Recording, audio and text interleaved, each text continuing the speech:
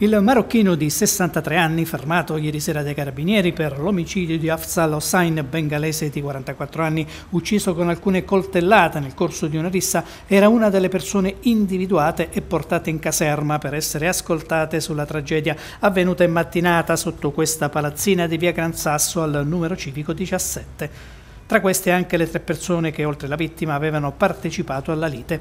Una lite assurda, diventata subito furiosa, scoppiata per futili motivi legati a questioni di vicinato.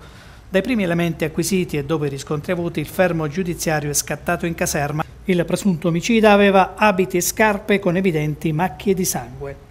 Anche lui, come la vittima, abitava nella stessa palazzina. L'uomo è ora rinchiuso nella casa circondariale di San Donato. I carabinieri continuano le indagini. Manca infatti un tassello importante, l'arma usata per colpire a morte il bengalese.